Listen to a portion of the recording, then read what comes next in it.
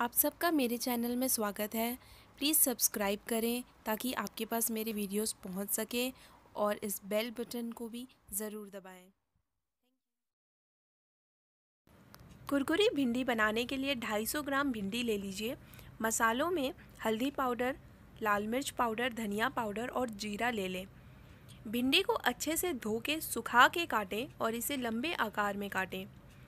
अब स्टोव पे सरसों का तेल गरम होने के लिए रख दीजिए।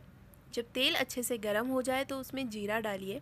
आप अजवाइन भी डाल सकते हैं अपने पसंद के हिसाब से। अब इसमें एक एक करके सारे मसाले डाल दें। नमक बाद में डालें। ये सब्ज़ी बहुत ही जल्दी तैयार होने वाली सब्ज़ी है। इसे आप रोटी या चावल किसी के साथ भी खा सकते हैं। अब देखिए मैंने इसमें भिंडी डाल दी है। भिंडी को चलाते रहिए। अब इसमें नमक डाल देंगे और भिंडी के रंग बदलने तक इसे चलाते रहेंगे। भिंडी को ढक के नहीं पकाना है, इसे खुली आँच पे ही पकाना है और गैस का फ्लेम तेज़ रखना है। हर दो तीन मिनट के बाद भिंडी को अच्छे से चलाइए। जैसे जैसे भिंडी का रंग बदलेगा, ये सब्ज़ी तैयार होगी।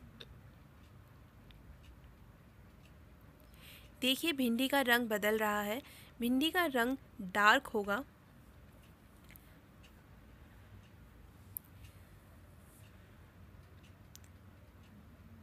देखिए, अब भिंडी बिल्कुल तैयार है। आप इसमें लास्ट में आमचूर पाउडर डाल दीजिए और इसे परोसिए। Thank you